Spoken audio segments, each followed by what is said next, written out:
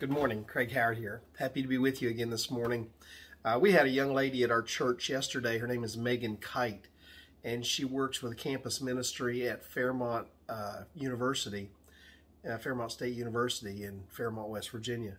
And she shared some of her ministry and, and some of her passion and some of the difference that the ministry that she's involved in is making at Fairmont State and other places. And it was really impressive um, because we know statistics tell us that a lot of things can a lot of things happen when kids go off to college. Seven out of ten kids that go to college walk away from their faith, um, and uh, uh the college kids spend an inordinate amount of time. Not all college kids, but a large number of college kids spend an inordinate amount of time. Uh, drinking while they're at school to the extent that it creates a problem um, over four years, researchers say the average college student deals with 102 alcohol related consequences the morning after. They range from blacking out to suffering hangovers to pressure to having sex with somebody uh, or having to miss class or work because they drink too much the night before.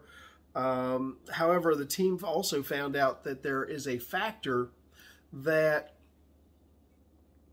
that makes a difference in how much kids drink. And uh, they find that kids that come from parents who they know are going to disapprove of their drinking, um, disapprove of them getting drunk, who are going to disapprove of this activity, are far less likely to be involved in alcohol related problems than kids whose parents don't care if they drink or who just kind of ignore drinking as something that's just you know, part of life. Um, both of my kids tell me, and I, I realize this sounds a little bit as a naive statement. I believe them, but I have no way of proving it. Uh, both my kids tell me that neither one of them drank while they were in college.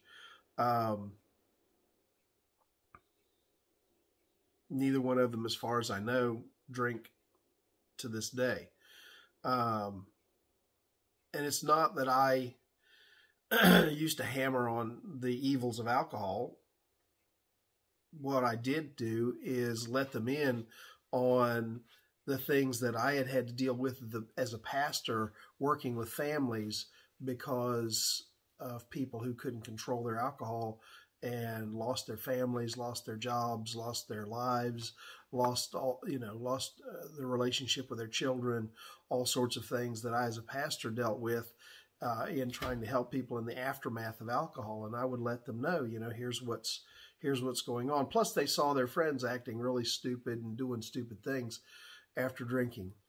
Um, the point I'm getting at is the Bible tells us if we raise our children to know biblical principles, if we raise our children to know why we believe what we believe, not just look at them and say, don't do that, but to say, here's the reason I believe what I believe, it can make a huge difference as they grow older.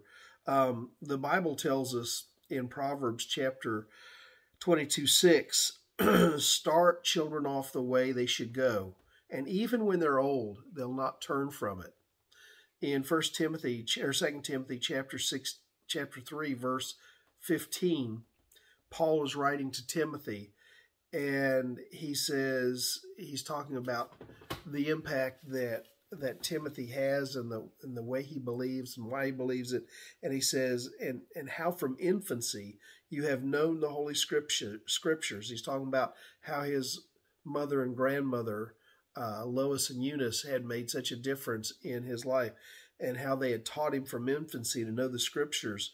And he says, now you're able to make wise decisions for salvation through faith in Jesus Christ. Um, you know, I'm I am at a loss to understand why parents feel it's less and less important to have our kids in church and more and more important to get them in little league that in in a some sort of sporting program that takes them out of church. I'm I'm confused by that. I don't understand setting that precedent in their life. I don't understand why parents are less and less concerned about having their kids in Sunday school um, when it is a place where so many foundational truths are taught. but I know that we're entering into a era in society because parents have felt less of the need to train their children in the scriptures. We're enter, entering into an era in society where fewer and fewer and fewer um,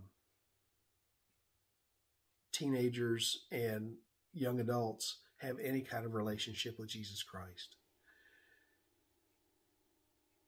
I think we need to remember what the Bible teaches that it is our responsibility to teach the scriptures, to teach them when they are awake and when they are asleep, when they rise up, when they sit down in the morning, in the evening, that we are responsible to give them God's word because it will make a difference in the person they become. I hope you have a great day today. Uh, God bless you and all that you're doing. Mom, if you're watching, I love you. You too, Aunt Judy. God bless.